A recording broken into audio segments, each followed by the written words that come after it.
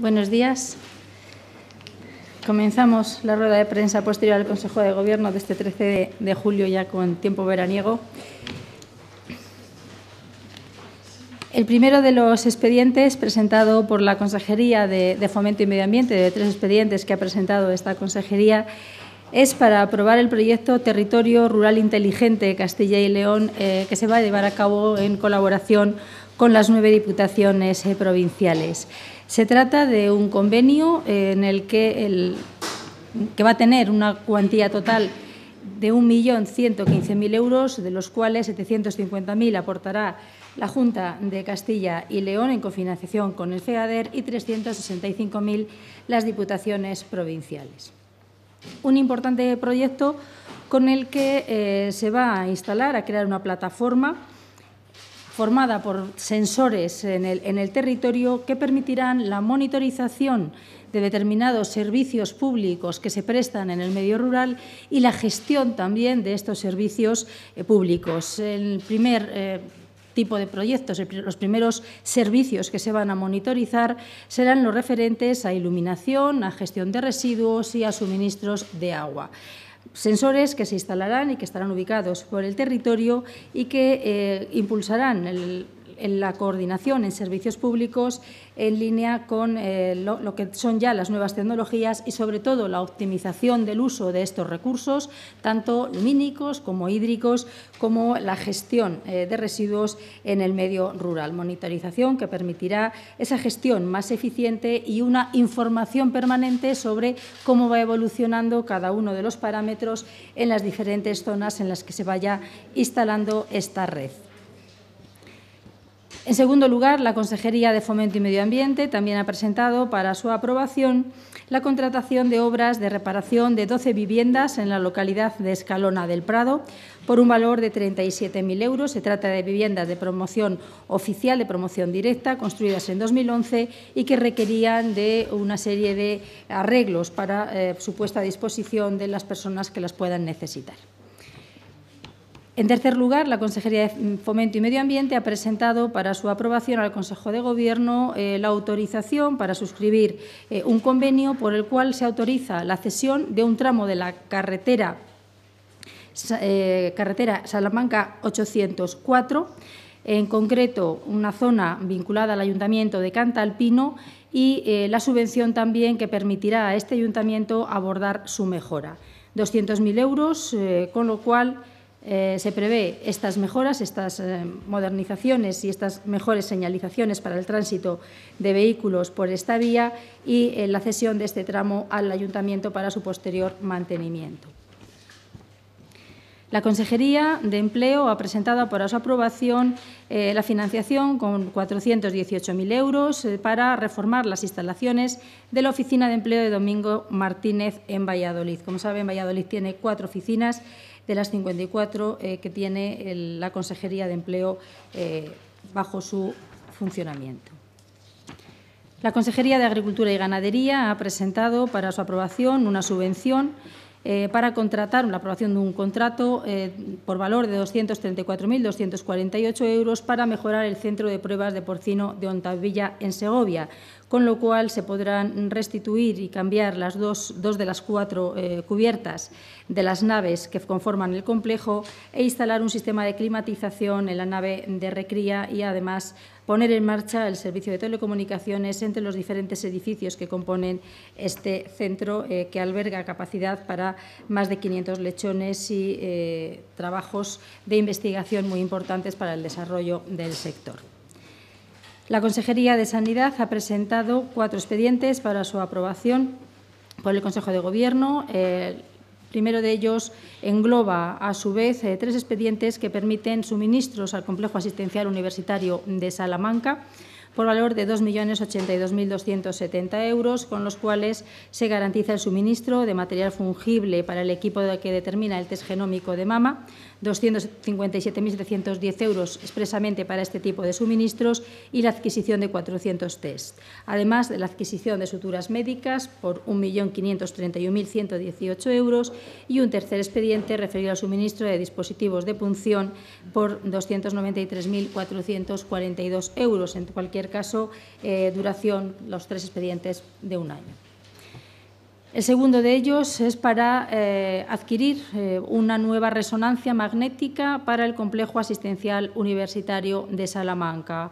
1.100.000 euros destinado al suministro, instalación y puesta en funcionamiento de este nuevo equipamiento en el Hospital Virgen de la Vega en Salamanca, uniéndose este nuevo equipamiento a los otros 16 que ya están operativos en los centros sanitarios de SACIL.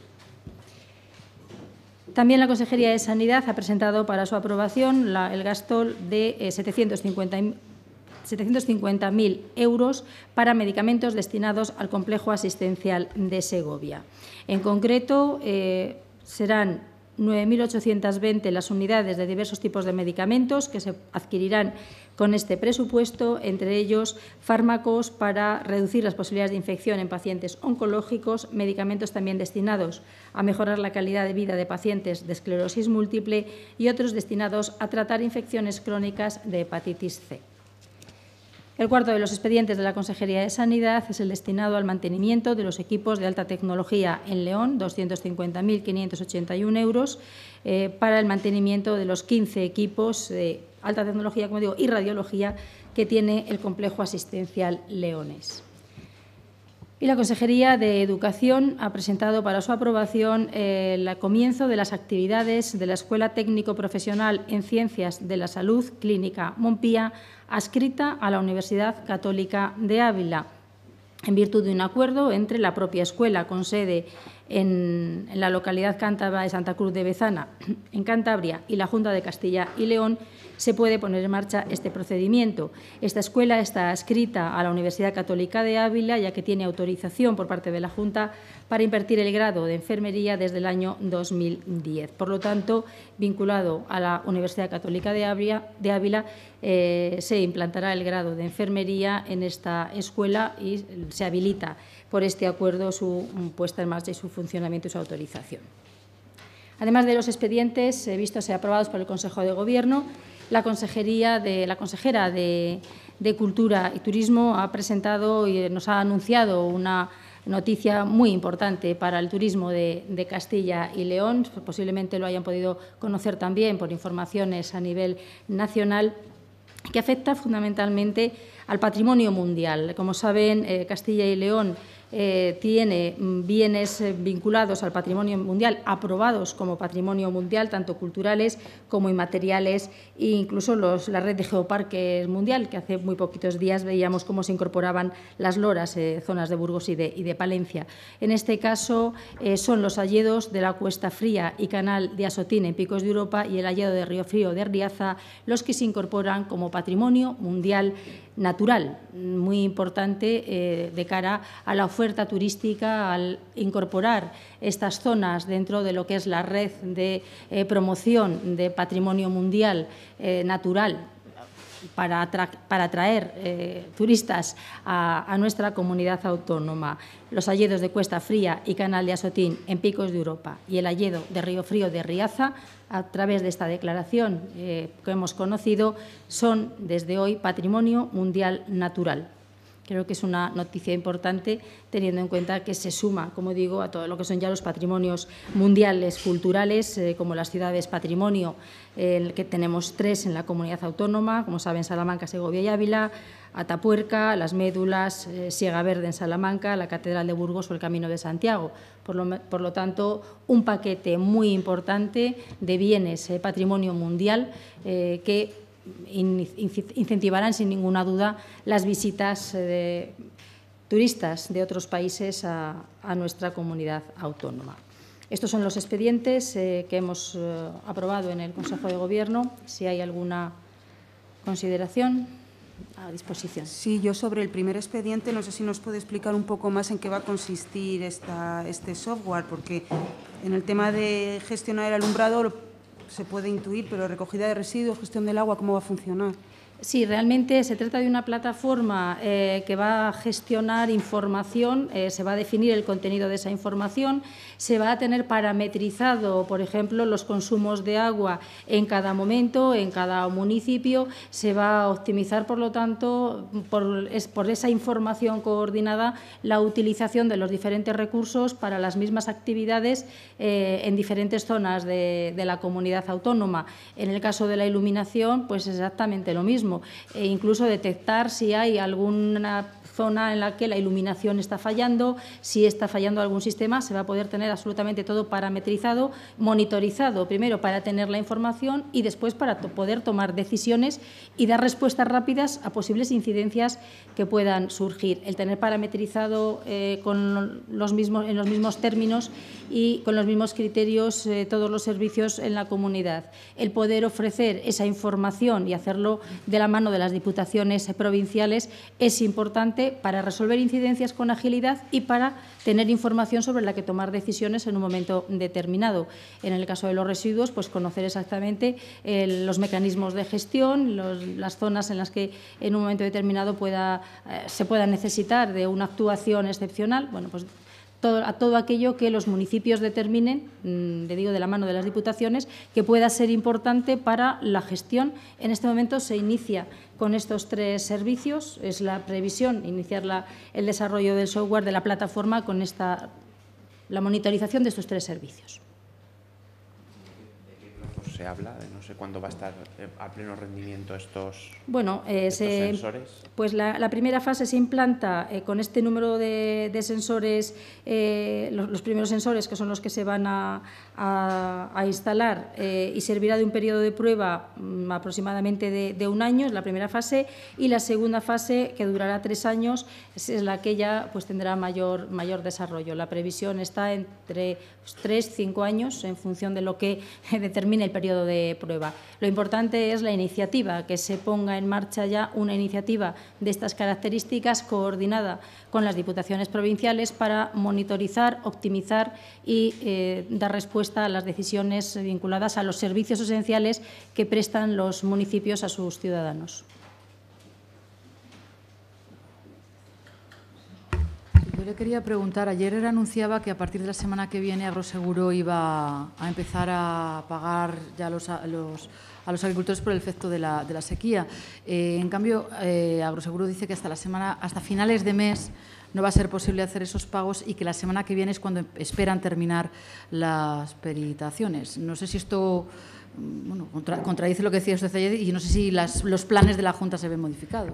No, no, no son planes de la Junta. Los pagos de agroseguro son solo de agroseguro. Hubo una reunión anteayer en el, en el Ministerio en el que agroseguro eh, anunció que iniciaba los pagos hoy en algunas, en algunas parcelas, algunos agricultores. Eh, otra cosa es cuando estén finalizados los pagos, que efectivamente el compromiso de agroseguro, por insistencia de la Junta de Castilla y León, fue primero que se peritaran con carácter urgente todas aquellas parcelas y todas aquellas zonas en las que ya se sabe exactamente, que no son todas todavía, cuál es el nivel de afectación de, la sequía, del pedrisco o de la helada. Lógicamente, eh, las peritaciones seguirán a, lo largo de todo el año, porque no todas las zonas se puede, todos los cultivos se puede saber en este momento cómo está.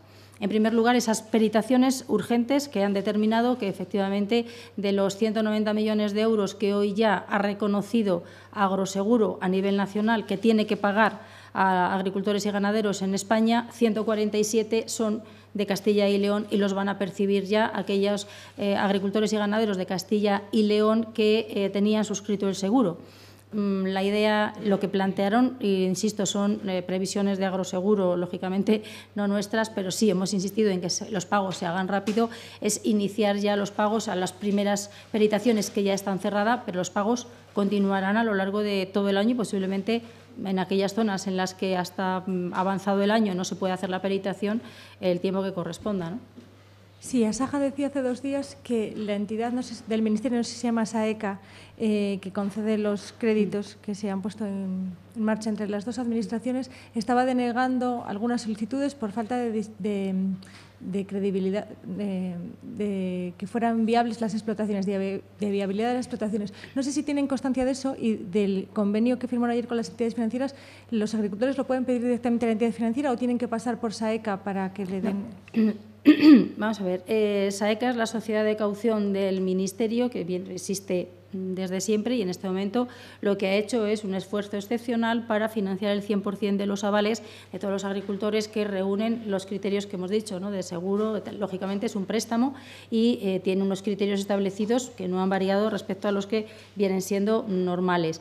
Eh, lo que sí que se está haciendo y esta tarde hay Consejo Agrario es crear una comisión de seguimiento en la que eh, también estamos viendo con las organizaciones agrarias y con SAECA aquellos casos en los que pueda ser complicado, en los que falte documentación, en los que haya algún tipo de, problema. Se van a analizar mm, absolutamente todos los casos. El convenio con las entidades financieras se firmó ayer. Eh, por lo tanto, es muy pronto para hacer una valoración de eh, cómo van evolucionando los préstamos. El objetivo de la Junta de Castilla y León es que todos aquellos agricultores y ganaderos que lo puedan necesitar puedan tener acceso a los préstamos, lógicamente eh, previo análisis de la documentación necesaria y de la, lo que es la lógica de, estos, de estos sistemas. si cumple, si tiene seguro, si es agricultor a título, a título principal o agricultor profesional, es decir, el 50% del IRPF va vinculado a, actividad agraria y además tiene alta en la seguridad agraria, seguridad social agraria, es un 100%, si no es un 50%, hay que ver la documentación. Por lo tanto, mm, el funcionamiento yo creo que mm, va a ser eh, absolutamente normal. Revisaremos si algún caso tiene alguna incidencia, para eso se crea precisamente la comisión de seguimiento y haremos la valoración. Mm, si eh, hay alguna, algún caso en que SAECA no lo tiene, tiene, algún problema, pues hablaremos con la entidad financiera y desde luego los intereses eh, intentaremos que, vayan adelante. Pero hay caso, habrá, que ver caso por caso. lo, ocurre, lo que ocurre es que las organizaciones agrarias lo que decían es que son condiciones normales de SAECA para un año excepcional. Entonces pedían que, se, que se relajaran un poco las condiciones porque había muchos agricultores o ganaderos que igual tenían ya créditos previos que igual a lo mejor no podían pedir nuevos.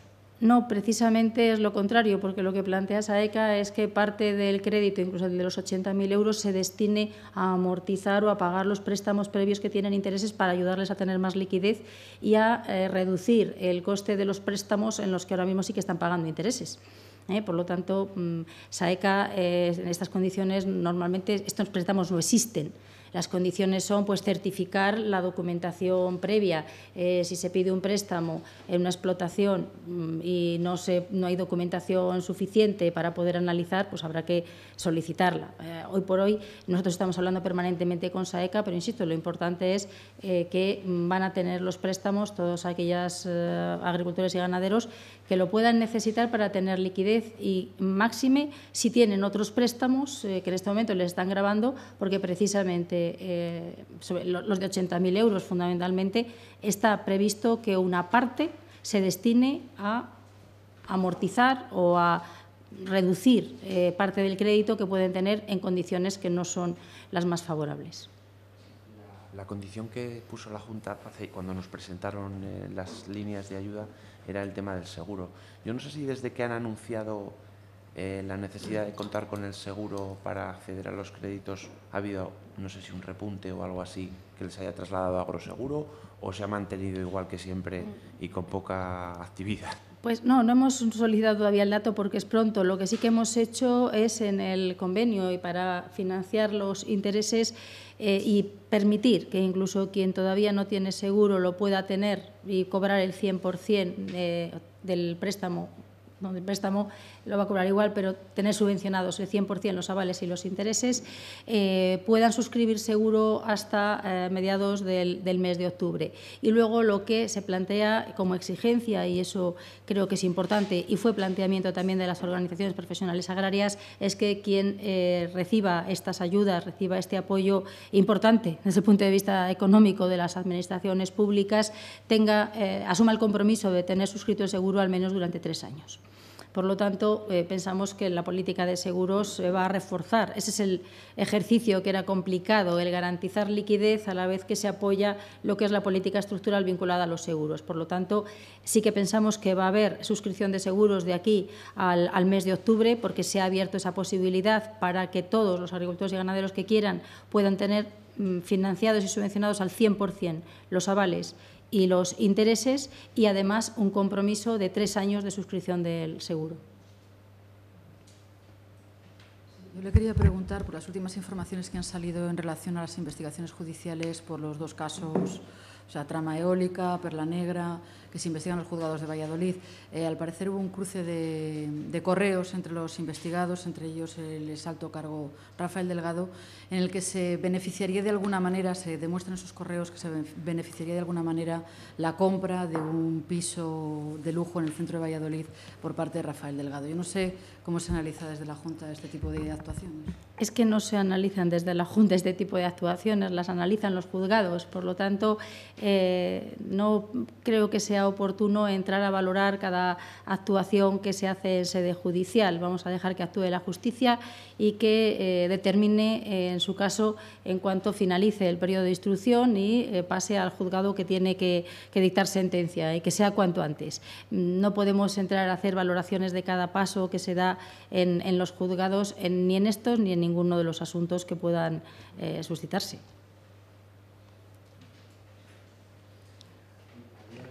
Ayer se conoció que el grupo de expertos que aborda la financiación autonómica eh, está sugiriendo, no sé si han tenido conocimiento por el representante de Castilla y León, está sugiriendo que las, los fondos que, que, actualmente se dedican para financiar a comunidades como Castilla y León progresivamente se vayan eliminando.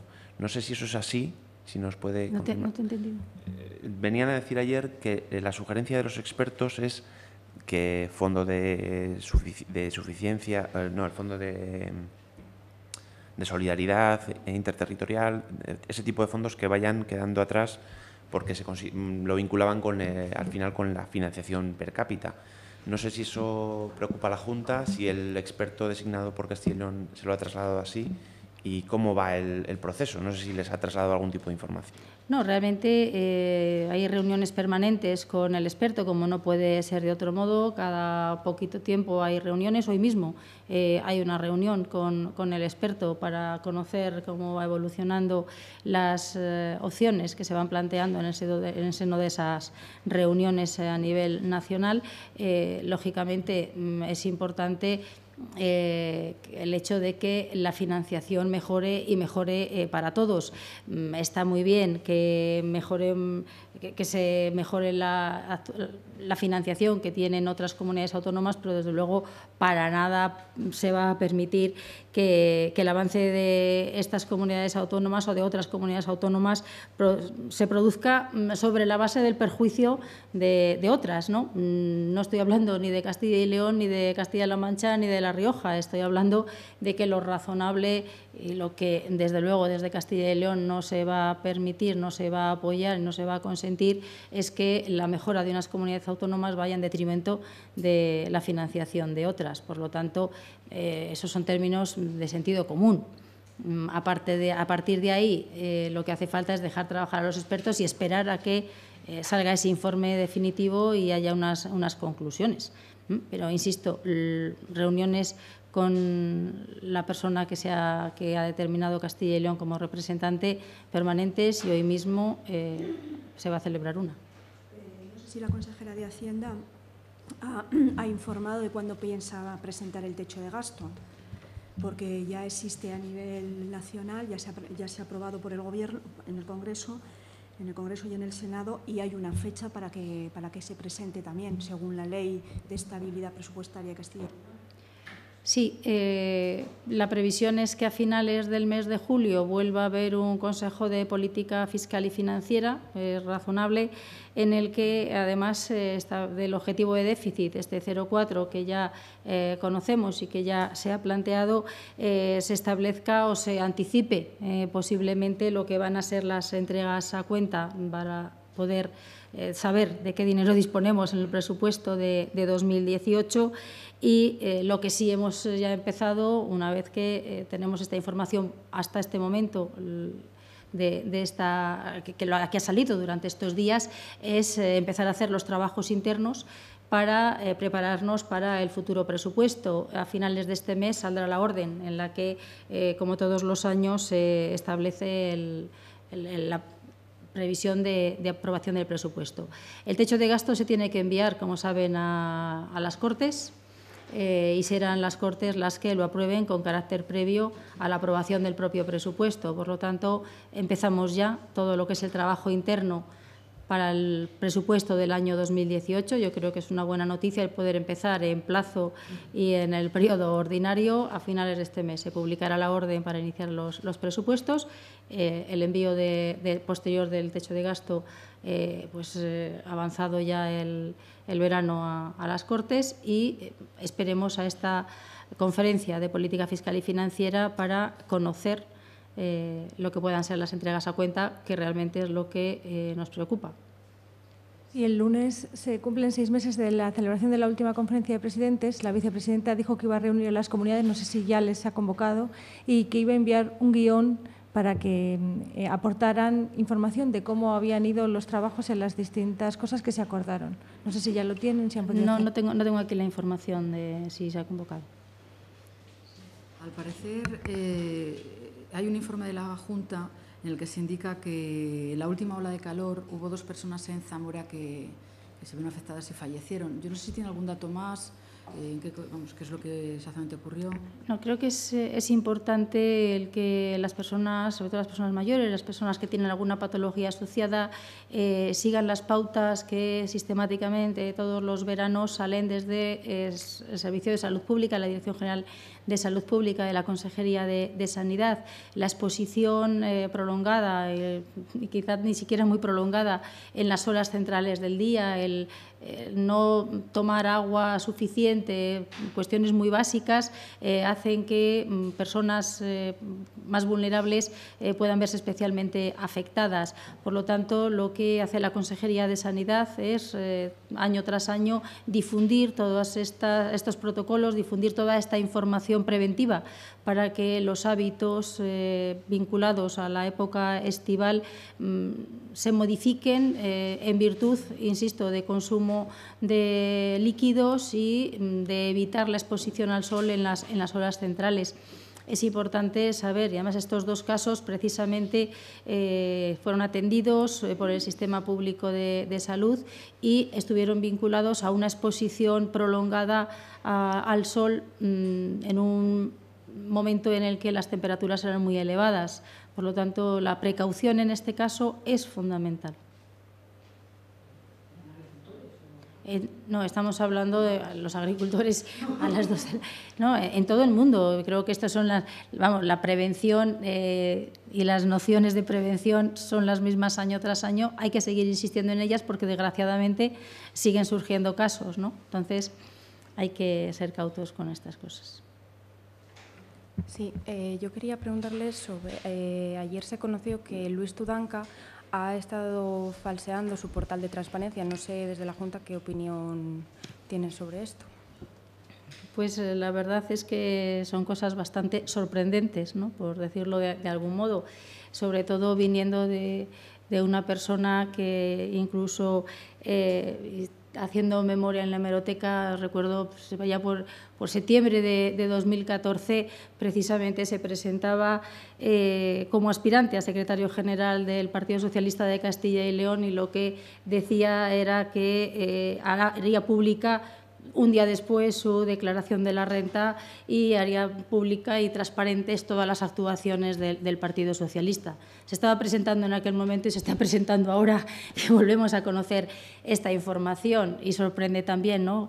después de eh, proposiciones en, las Cortes, de preguntas orales en las Cortes en los que acusaba a la Administración autonómica de falta de transparencia cuando precisamente eh, las valoraciones que hemos tenido por parte de la asociación eh, que lleva estas valoraciones han sido de 10 y de sobresaliente alto consecutivamente que se ponga en duda. Pero eh, realmente yo creo que esto nos debe llevar a una reflexión sobre lo que, lo que debe ser la coherencia ¿no? en, en, las declaraciones públicas y en las actuaciones públicas. Esta semana yo recuerdo una, entrevista que se le hacía a una representante también del Partido Socialista en la que se hablaba de, quiero recordar, de decencia, de coherencia y de credibilidad. Pues eh, creo que si ese es el objetivo, mm, podemos poner en duda eh, todos y cada uno de los, de los adjetivos que precisamente persigue el Partido Socialista con estas actuaciones. Eh, no se puede eh, alardear de decencia cuando parece que la responsabilidad por conducir bajo los efectos del alcohol es diferente si militas en un partido o militas en otro. No se puede presumir de coherencia cuando estás en Madrid y votas en contra de la minería y a favor de que desaparezca la minería en el 2018 y luego te paseas por, por León diciendo que eres el adalid de la, de la minería. Y no se puede presumir de creíble eh, cuando se insta a todas las administraciones públicas a ser transparentes y ni siquiera los datos personales lo son. Por lo tanto, creo que lo que necesita esta comunidad autónoma es un partido socialista serio y riguroso que realmente haga política para los ciudadanos y con el que poder dialogar y aprobar los presupuestos, que los tenemos a la puerta de la esquina ya, por ejemplo. Sobre el último acuerdo eh, de, la Consejería de Educación, no entiendo a qué se refiere. Eh, sí. No lo entiendo. Bueno, eh, las universidades tienen centros adscritos. Eh, las universidades públicas los pueden tener dentro de la comunidad autónoma, las universidades privadas los pueden tener también fuera de la comunidad autónoma. Eh, la Universidad Católica de Ávila solicitó la autorización de tener adscrito el, centro de, que, en este momento va a impartir el, enfermería. Este centro está en, Santander, en, Cantabria, y eh, lo que hace es eh, determinar la autorización porque la universidad está en Castilla y León, la Universidad Católica de Ávila está en Castilla y León, y la autorización para impartirlo como centro escrito corresponde a la Junta de Castilla y León. Bueno, se va a impartir y tiene, ha solicitado impartir ese, ese, ese grado y se autoriza que imparta ese, ese grado allí donde está implantada es una autorización administrativa para que pueda incrementar la actividad este, este centro.